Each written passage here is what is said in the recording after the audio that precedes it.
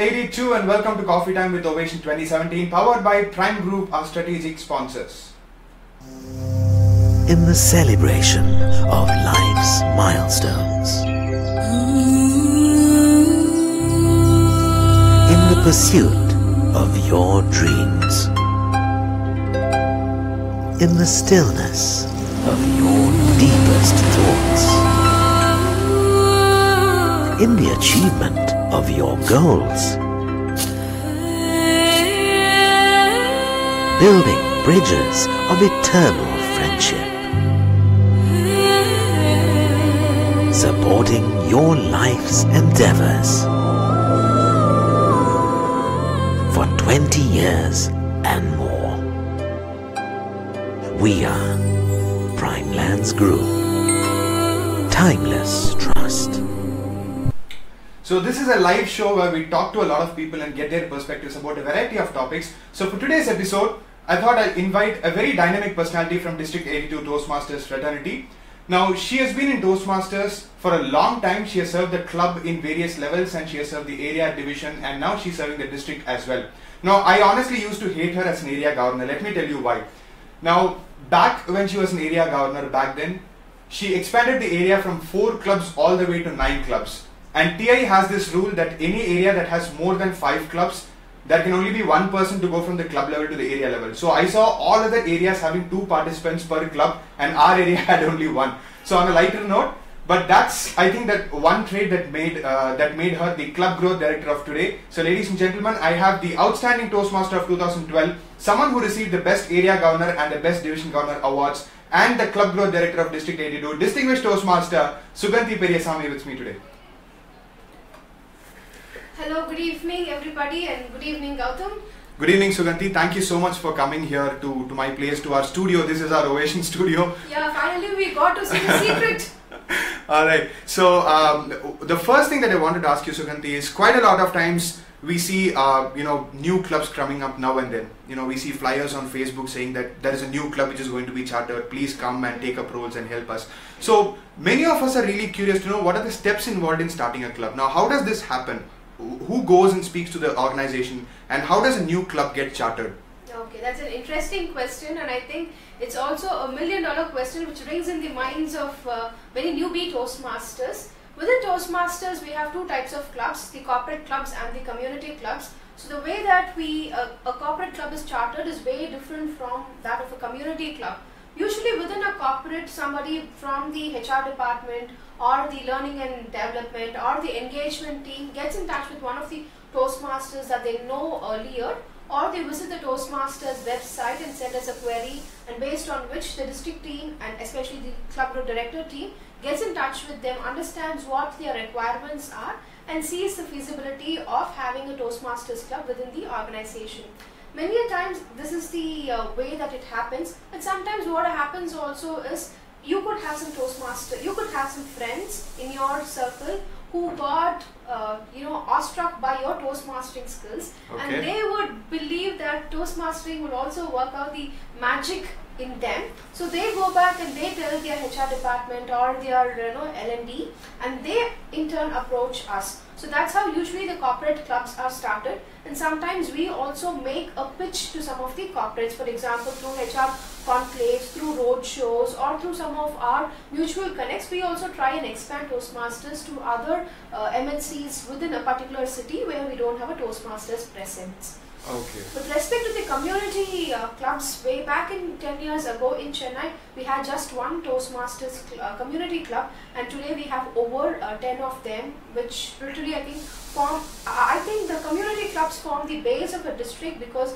you see a lot of vibrancy in those community clubs. No offense to the corporate clubs. You see diversity there. Yeah, diversity is definitely there because we see, we see people from different backgrounds. We see students, we find working professionals, we find business people. So the vibrancy and the diversity is there in a community club. So how a community club gets formed is people like you and me, if we see a potential in a particular locality, we go, we, we understand, we do a, a small kind of a research to understand whether that locality has the ability to sustain a Toastmasters club. And that's why in the recent uh, days you see uh, we are conducting demo meetings, say in Chennai especially at, I just came home From a demo meeting. yeah, from a demo meeting that happened quite close by from Porur. We have demo meetings being conducted at uh, Kilpauk. We have one coming up next week at Raja Keel Parkam. So these are areas where we thought have umpteen potential to start and run Toastmasters and definitely people in and around who don't have time for Toastmastering during a week they can benefit. So that's how The community, community club club gets started. started. Alright, so Suganthi, we'll talk on a lot more topics. Now we'll take a small break. So, ladies and gentlemen, uh, you're watching Coffee Time with Ovation 2017. I have the Club Growth Director of District 82, DTM Suganthi Periasamy with me here. You would see a number scrolling on your screen. Yes, that's my number for all the girls out there. And other kids, men and legend out there. That is the number which is the hotline for you to ask any question you may have to distinguish Toastmaster Suganthi. Send in your questions as a WhatsApp message to this number. You may also comment your questions on the live post which is going on right now and Suganthi will be here to answer all your questions for you. So we'll see you a after a short break and stay tuned. This is Coffee Time with Ovation 2017 powered by Prime Group, our strategic partners.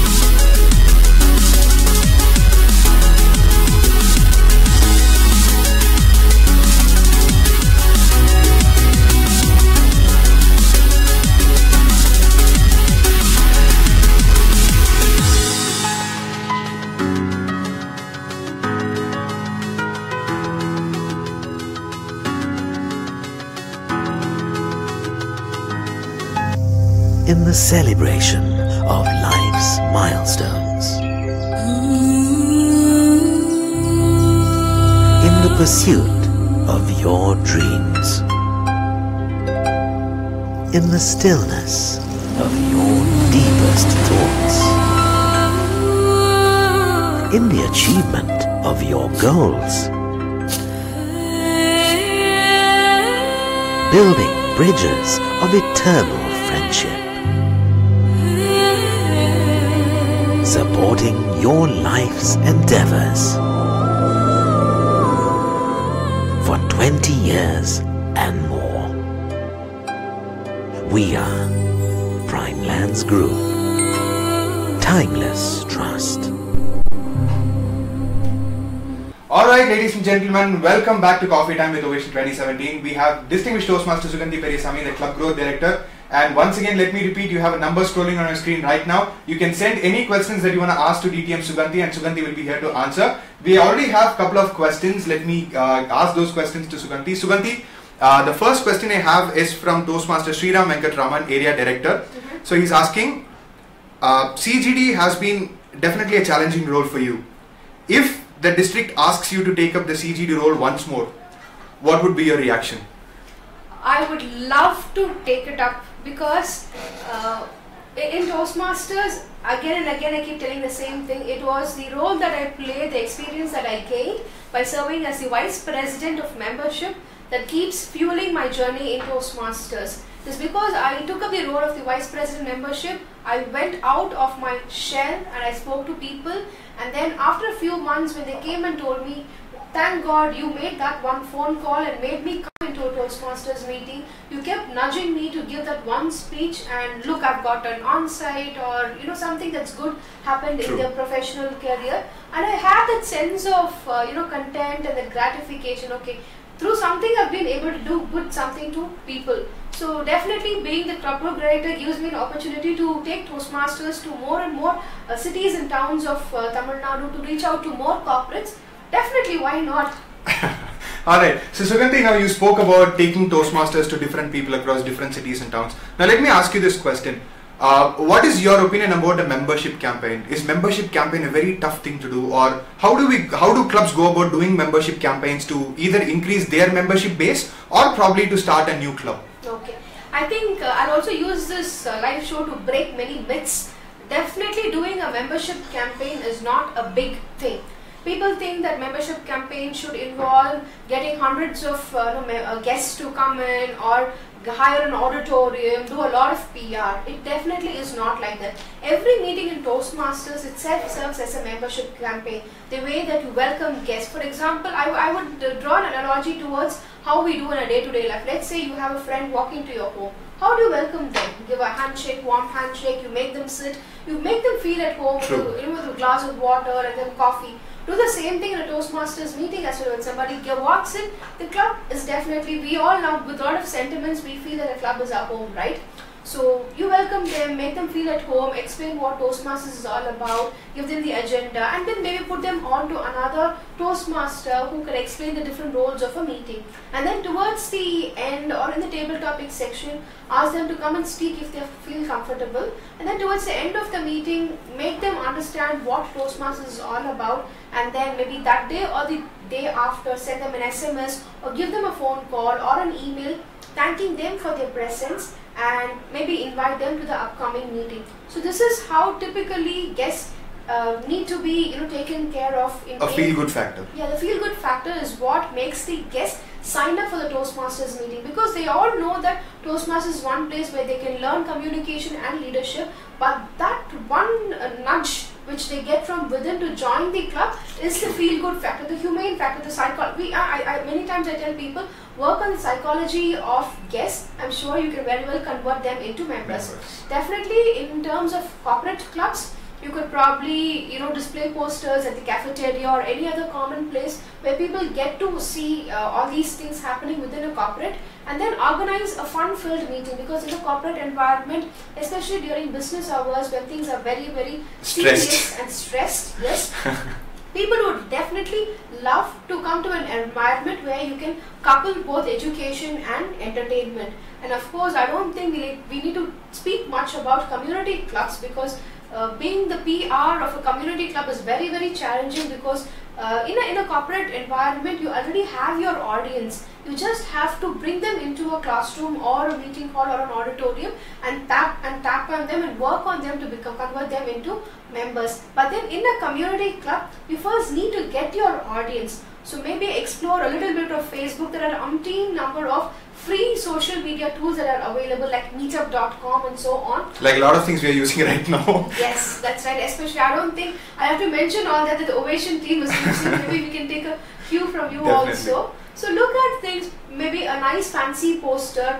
I think I make all my posters using Microsoft PowerPoint. You need not even learn Adobe Photoshop or any other higher end tools. A little bit of creativity will get people to come into your meetings, and then it's the humane factor that gets them converted from guests into members. Lovely. So uh, Suganthi Salim sir has sent us a comment saying looking forward to meeting both of you here at Ovation. So uh, Salim sir, a big hi from here. Hello, sir. And I, I, I just can't wait. I think it's just another 12 days 12 to days go. to go. Alright, so Suganthi, we have a few more questions lined up for you. People have sent their questions. Mhm. So we'll take a short break and get back. So friends, before we go for a break, once again, let me remind you that you have a number scrolling down on your screen. You can send your questions for Suganthi Periasamy through that number as a WhatsApp message and Suganthi will be here to answer our questions. You can also comment your questions on the live Facebook video which is going on now. So we'll take a quick break and get back in Coffee Time with Ovation 2017 powered by Prime Group, our strategic partners.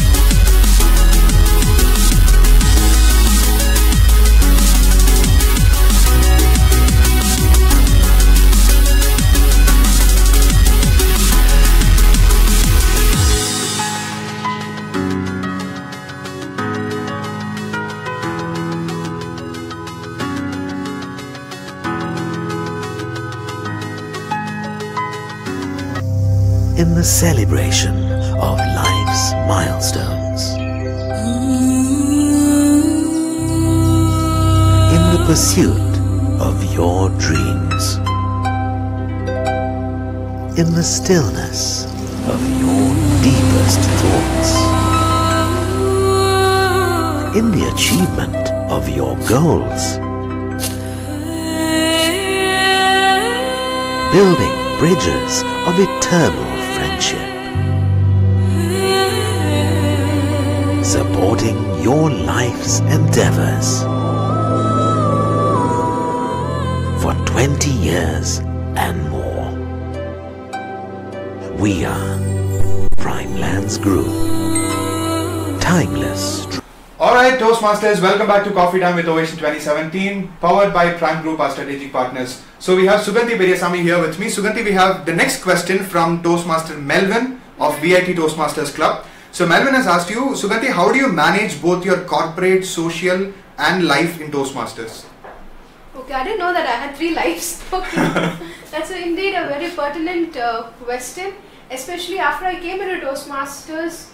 Uh, anybody serving in the district role has a lot of responsibilities. You get invited to every meeting that happens, a milestone meeting, a special meeting, and all that. So definitely taking out time during uh, the weekdays is little tough. But then you have to do a trade-off somewhere, probably go in a little early to work or schedule your meetings accordingly so that you are able to also do justice to the role that you have taken in Toastmasters. And definitely my weekends are pretty much jammed with Toastmasters. Only when Monday morning comes I realizes, oh God, Sunday and Saturdays are I have to go to office.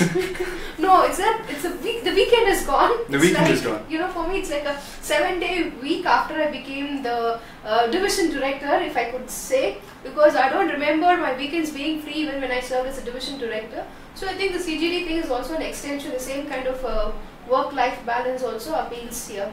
Yeah, I wish sometimes that there are some weekends where I could just, you know, eat a lunch and, you know, get a few hours of sleep. But then seeing those happy faces and energetic faces Toastmasters makes you go for that particular meeting and come back rejuvenated.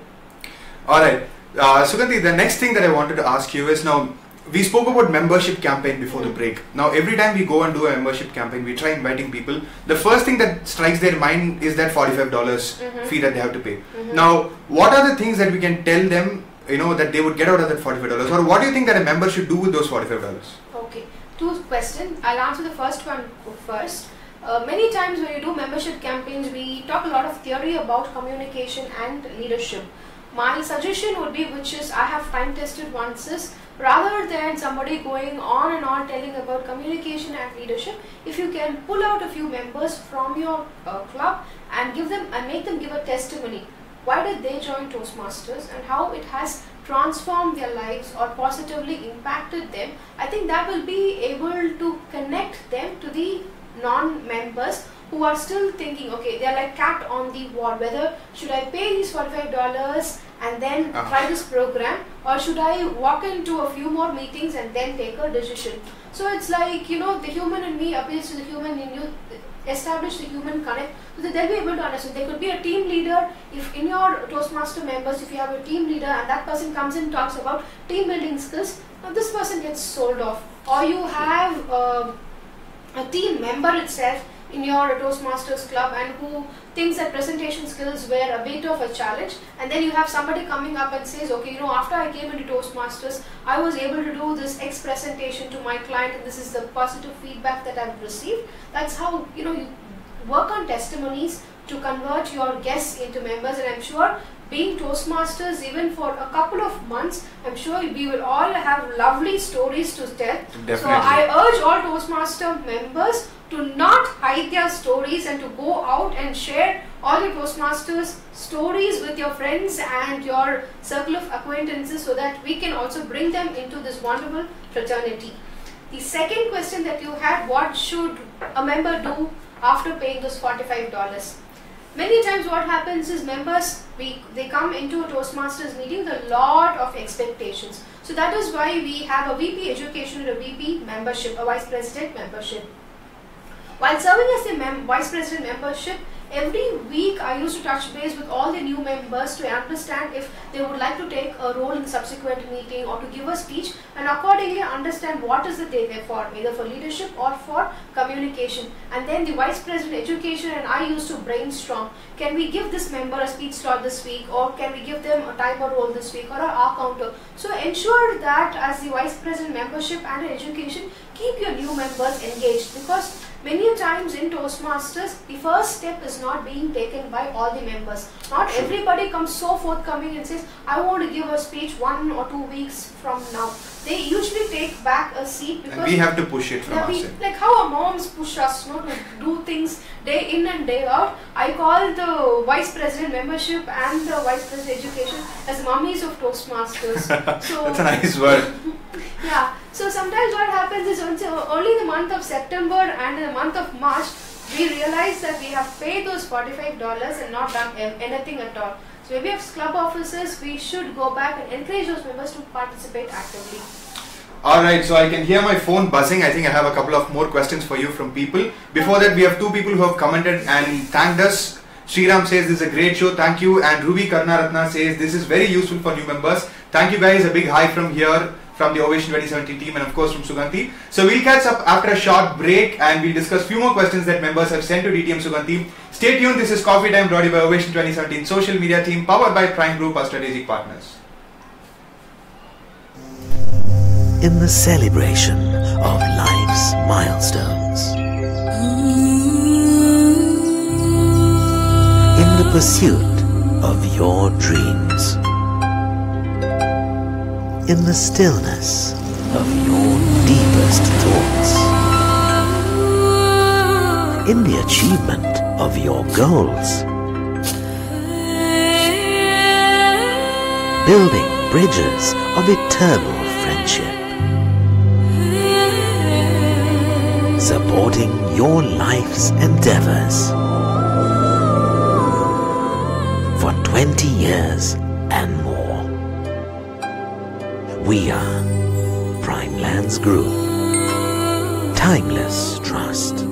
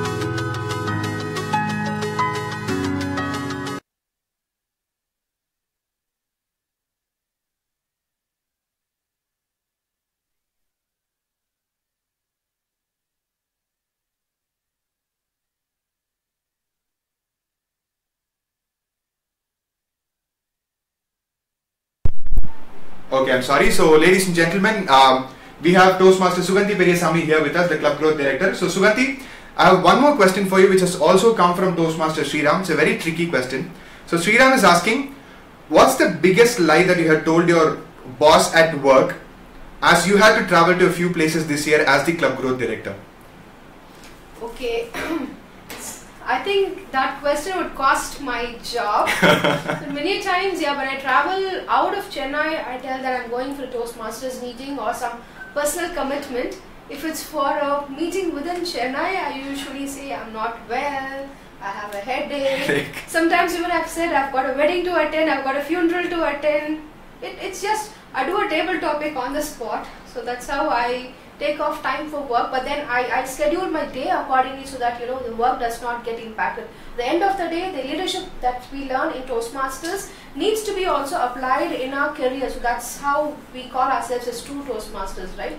Uh, and excuses are okay, but then ensure that the work also does not get impacted. Like very true. Like somebody said, I don't remember who told this, but they said we all join Toastmasters not to become better Toastmasters, but better at work, better at life. Absolutely. Yeah. Right. So Suganthi, the last question before we end the show for today is we spoke a lot about community clubs, corporate clubs, growing them and stuff. Mhm. Now one question that I have is specifically targeted towards remote clubs. Because remote clubs often face this challenge of having difficulty in getting support from clubs in the mainstream cities. So what are the remote clubs that we have chartered this year uh, outside Chennai and Mhm. what are the challenges that we faced and how do you overcome challenges in chartering a remote club? Okay. Remote clubs usually the interest comes from somebody within that particular town or city has heard about Toastmasters from their acquaintances or they've been a Toastmaster earlier and they have this aspiration of starting a community club within their own towns and uh, cities. This year, in fact, the first club that got chartered within District 82 was a remote club from Virudhunagar within a college environment and then we moved on to charter clubs within Sri Lanka also which were in the remote areas. And this year especially uh, the newborn baby in our district to be uh, to be chartered very soon is uh, the district of Tirunelveli. We've got them as a new member in a week to come. Okay, then- nice. uh, we also have Nagercoil Toastmasters who just got chartered in the month of uh, March 2016 and they were again a newborn uh, baby to District 82. So we do have clubs you know, sc- uh, scattered across Tamil Nadu and of course the, the big group of clubs within Coimbatore. You have Trichy Toastmasters, you have Madurai and of course uh, recently we've got interest from Rajapalayam, we've got interest from Dindigul and even I was quite surprised when I received a call from a gentleman in Hosur. Okay. So we, we are working on those areas to understand if you know what could be the environment which need to be you know uh, developed and sustained in a town like Hosur or in towns like Dindigul and Rajapalayam and definitely supporting them is a challenge uh, not only for them as well as for us because within a radius of about 100 kilometers you wouldn't find uh, clubs for example. Rajapalayam, the nearest club could be either the Madurai Toastmasters Club or the Virudhunagar Toastmasters Club. So they, until unless we motivate those Toastmasters to go and help these Toastmasters during a weekend, it becomes very, very tough. But then in Toastmasters, one good thing that I've always seen is whenever we reach out to people and we ask them to go out and help Toastmasters, fellow Toastmasters, they've never been a no. For example, Yes, we always get help. my, my club retention chair, uh, Toastmaster Guru Raghavan, and two more Toastmasters, Toastmaster Shankar from Orators of Tech Mahindra, traveled 14 hours all the way from Chennai to Nagercoil and had a half a day meeting with them. So that was well received by Nagercoil Toastmasters, and they started.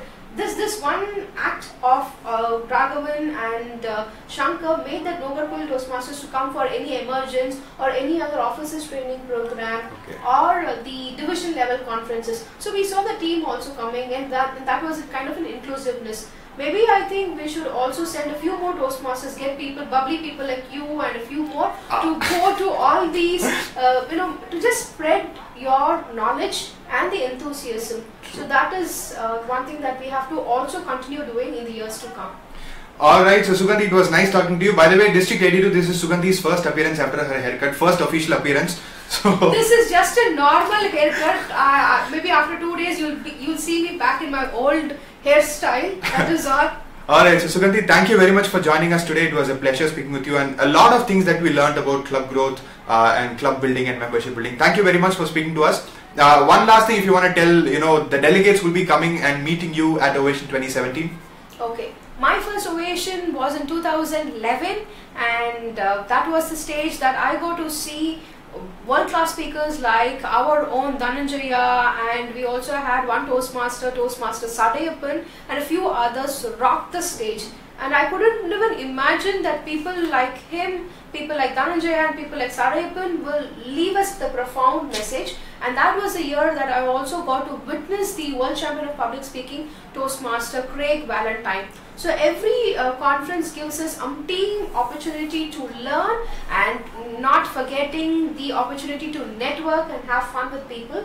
So welcome to welcome to Ovation 2017, the journey to stardom, the journey to fun, education and networking.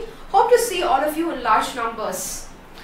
Alright, ladies and gentlemen, thank you so much for watching Coffee Time with Ovation 2017. One last comment we see on Facebook from Truban. Truban says, Awesome show. Thank you very much, Truban. A big hi from here. So, we'll be doing a few more shows like this. Looking forward to seeing you all live. Thank you so much for joining us, and I'm of course looking forward to meeting all of you at Ovation 2017. Ladies and gentlemen, you've been watching Coffee Time with Ovation 2017 social media team powered by Prime Group, our strategic partners. In the celebration of life's milestones. In the pursuit of your dreams. In the stillness of your deepest thoughts. In the achievement of your goals. Building bridges of eternal friendship. Supporting your life's endeavors. For 20 years and more. We are Prime Lands Group. Timeless Trust.